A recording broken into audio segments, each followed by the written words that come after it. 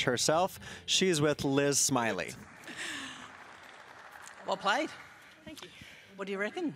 You look like you're moving well, hitting the ball well. Assess how that was today.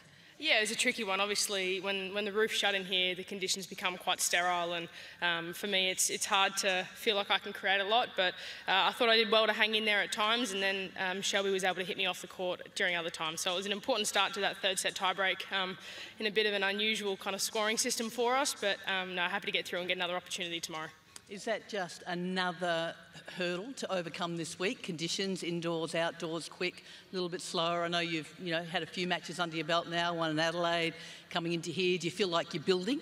Yeah, particularly. I mean, absolutely. It's the challenge that every day is different. Uh, every opponent's different, and uh, regardless of what conditions you kind of dealt with, it's it's about me coming out here and trying to do the best that I can. And uh, there were certainly some challenges today, but happy to to kind of click into gear and find a way in that third set. Um, gee, what else? What, what, what do you, uh, it must be different, I think. You know, you play a lead up to a Grand Slam, but you're never on site at a Grand Slam. So how does that feel different to you're here, you know, the AO's next week and, and you're here already? But it's not the AO. yeah, it, it feels um, a bit peculiar actually. I mean, under, underneath when we're all walking, preparing, uh, you know, the physio rooms, the recovery centre, everything's set up as normal for, for an Australian Open. So it's strange that it's it's not the Australian Open, but um, look, it's any time you get to play on these beautiful courts in, in these stadiums and, and walk around these grounds, it's, it's incredible. You have to take the opportunity with both hands and enjoy it. Well played. Enjoy the rest of the week. Yes, thank you.